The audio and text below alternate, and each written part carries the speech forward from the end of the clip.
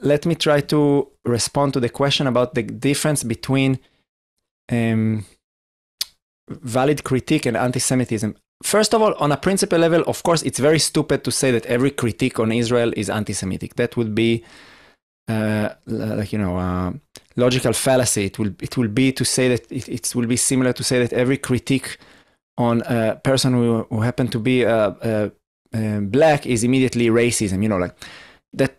If you think like that, me, me, like you know, and I'm and I'm pointing out to people who are listening. If you think that every crit- that that we are not allowed to criticize each other because that would be racism or sexism or whatever, then you're already embedded in this kind of um, identity politics, which I'm a big resi- I have a big resistance and of opposition to. I think that you know, like on the level of ideas, we should have the ability to converse, in regardless to our uh, our own identity, we are allowed to converse and to think and to criticize people from different uh, identity groups and people from different ethnicities, ethnicities and citizenship. Now, now I think that the critique and the anti-Semitic sentiments that I feel comes from what I will call the what we could categorize as the decolonization discourse. And not everybody who criticizes Israel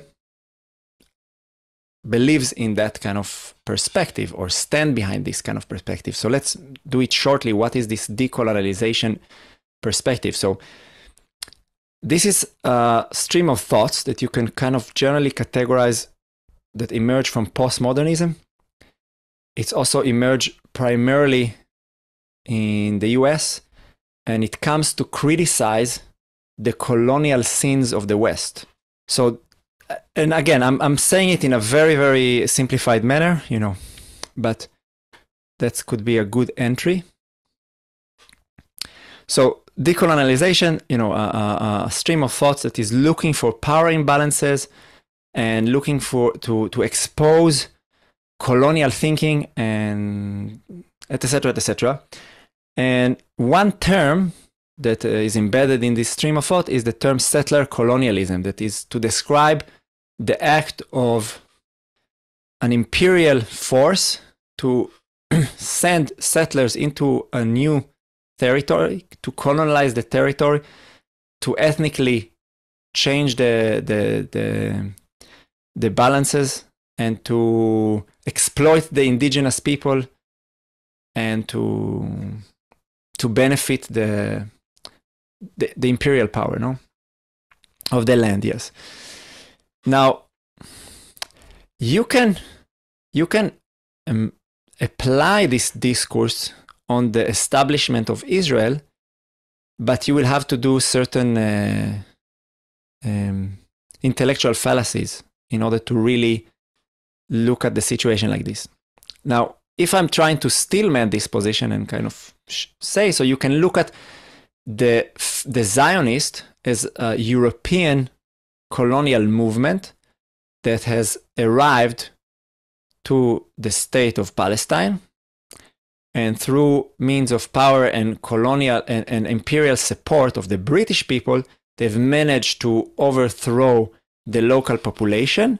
And since 48, they have uh, built up a colonial, a settler colonial state called Israel, and they are occupying and um, the indigenous Palestinians.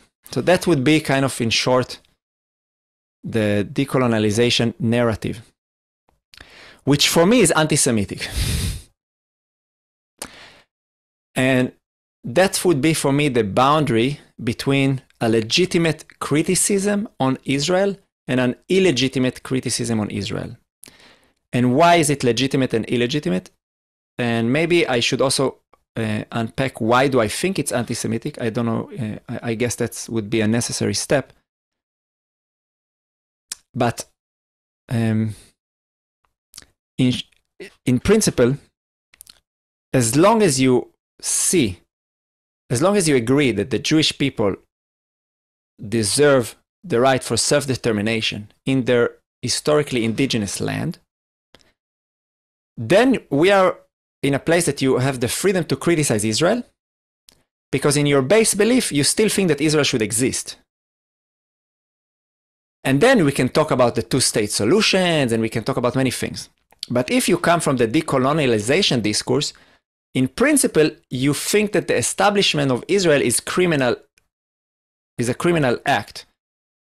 And you don't believe that the state of Israel should exist. And, and the problem with that way of thinking, and that's why I think it's anti Semitic in its core, is first, it's really inaccurate historically. And second, it gives permission for violence that is directed towards Jews, not towards Israelis at the end of the day. Hence, you could have seen, you know, like students, American students shouting, We want Jewish genocide. you know, quite curious days. So, so this is the boundaries. And now, and now, like, why would I say that it's inaccurate uh, uh, uh, historically? Because, you know, like the the Zionist movement was not a movement that was supported by imperial forces. On the opposite, it was the Jewish population in Israel. At a certain moment, they initiate a very bloody resistance against the imperial power of Britain. If you want to see more precious and insightful moments, make sure to check our short clips playlist. To see longer interviews, check out the full episode playlist just below it. And to be notified for all future videos, click the subscribe button and don't forget to hit the notification bell. See you on the next episode.